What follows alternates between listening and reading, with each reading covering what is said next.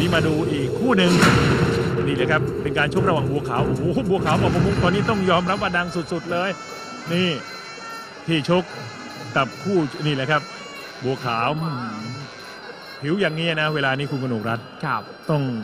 คือต่างชาติเนี่ย เวลานี้มักจะนิยมคนผิวคล้ำอืมเพราะว่าฝรั่งบางชาติเนี่ยชอบคนผิวคล้ำแล้วก็ในเรื่องของศิลปะแม่ไม้มวยไทยแล้วก็อย่างบัวขาวเนี่ยแกมีเสน่ห์หลาย ๆ อย่าง คือทั้งไหว้ครูก็สวยด้วย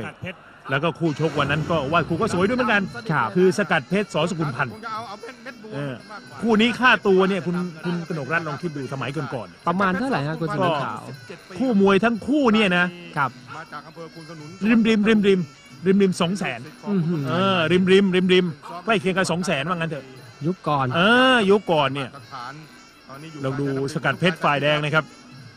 น้ำเงินก็คือบัวขาวปอประมุกที่ปรึกษาณปัจจุบันนี้บัวขาวนี่โด่งดังมากในเรื่องแชมป์เควันต้องยอมรับเลยว่าบุญพัฒนาไงคุณทรงชัยนี่สร้างบัวขาวตั้งแต่ประมาณปีเท่าไหร่ฮะคุณสมิงขาวตอนนั้นโอ้ยตอนนั้นมวยคู่เอกขก็งเรอย่างน้อยๆต้องมี 10 ปีอะสิบปีสิบปีเปิดบัวขาวรายต่กาอรคู่ในช่วงนั้นเนี่ยนะแรกบัวขาวก็ต่อยแล้วดูก็ยังขึ้นขึ้นลงลงๆอะยังไม่แน่เท่าไหร่อะครับทีนี้อย่างว่าแล้วก็มวยขยันหมดยกก่อนนะครับบางทีบางครั้งเนี่ยมวยเก่งกับบัวขาวก็มี ชัดๆนะครับสกัดเพชรนี่อาวุธอาวุธใช้ได้เลยนะครับสมัยก่อนๆเนี่ยสกัดเพชรยังไวยังเร็วครับแต่ในช่วงนั้นน้ำหนักของทั้งคู่เนี่ยยังไม่ถึงประมาณ 140 ไม่ถึง 138 ประมาณไม่เกิน 130 น้ำเงินสกัดเพชรแดงนะครับ น้ำเงินบัวขาวเช้มา130แล้วก็บัวขาวเนี่ยที่มาโด่งดังเพราะว่าอย่างแล้ววันที่นี้คุณลูกกรัฐว่าพี่นะหัวหน้าคณะครับไปชกเควันประมุขแล้วก็บุญวัฒนาแล้วก็ข้อสำคัญของ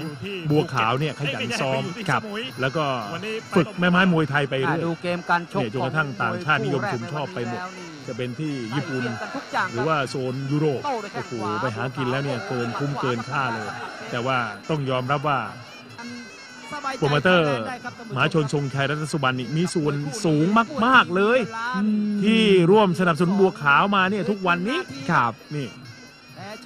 เพราะว่าในในสมัยก่อนๆเนี่ยต้องยอมรับเลยว่า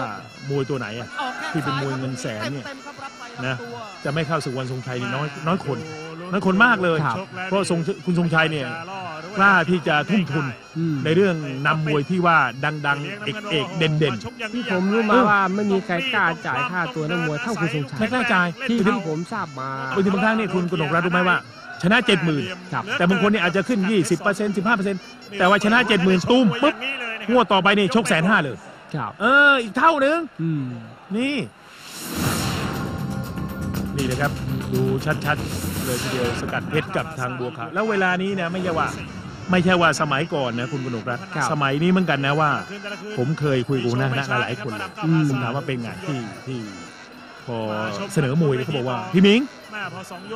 โปรโมเตอร์ทรงชัยเนี่ยนะกล้าให้รางวัลมวย อืม นี่คำพูดของหัวหน้าคณะ ครับ เออ วัดดวงได้เสียแล้วมากเสียลูกนี้สวยดูสกัดเพชรเนี่ย เรื่องพละกำลังนี่แกสู้บัวขาวไม่ได้ นี่ต้องยอมรับนะบัวขาวเนี่ยนะโปรโมเตอร์มหาชนทรงชัยนี่ไม่เดินไได้มีส่วนสูงสูงสูงมากเลยในเรื่องการที่ว่าทำให้บัวขาวมีวันนี้ ที่ได้ชกเทวันโอ้โหเออนี่ท่านผู้ชมที่ดู VCD ในขณะนี้นะครับ ก็อย่างคุณสมิงขาวพูดแล้วก็มีส่วนผลักดันอยู่เบื้องหลัง เยอะเยอะเยอะเพราะว่าเยอะมากก็ที่บอกเรียนให้ทราบไงว่า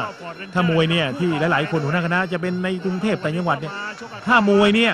เป็นสโลแกนก็เลยบอกว่าถ้าผมไม่ได้บอกไม่ได้ผ่านวันสงชัยเลยเนี่ย เหมือนไม่ได้ผ่าน ISO 9002 เหมือนจบมหาลัยเออ เหมือนจบมหาลัยนี่ เปิดรายการของมวยอื้อหือดูฮะ ยกที่ 3 ครับยกนี้ครับคุณสมิงขาวครับ เพราะว่าเวลานี้ที่ที่คุณทรงชัยนี่กล้าให้รางวัลนักมวยเพราะว่าหนึ่งคนดูมวยในสนามในศึกวันทรงชัยเยอะครับ เออเก็บเข้าประตูนี่ล้นหลามทุกครั้งทุกงวด เรื่องร้านเนี่ยเลิกคิด เรื่องปกติธรรมดา ครับ มีแต่ร้านเท่าไหร่ นี่แล้วมาดูคู่นี้ระหว่างบัวขาวน้ำเงินนะครับฝ่ายแดงคือสกัดเพชรยามออกแข้งตลอดตัวบัวขาว ยกนี้ตื้อแล้วนะครับ ตื้อแล้ว ดูแววของบัวขาวที่กระโดดรัดไม่เหมือนเนี่ยสมัยก่อนนี่เขายังไม่ห้ามนะเรื่องยางกันฟันฟันยางยังไม่ห้ามยังไม่ห้าม ในยุคนั้นยังไม่ห้าม ครับ เดี๋ยวคุณกนกเห็นว่าเอ้ยเอาฟันยางโยนทิ้งไม่ใช่ ไม่ใช่นี่เขายังไม่ห้าม โอ้โดนอะไรเมื่อกี้นี่นะครับ โอ้นี่นี่เขาเรียชักดมาลานี่ชวาซัดหอกนะอื้อหือ เดี๋ยวดูดูดูช้าๆอีกนิดนึงนี่นี่นี่เปรี้ยงนะขวานี่ศอกขวาเห็นไหมโอ้โห อ่าชวาซัดหอกลูกนี้โดนขา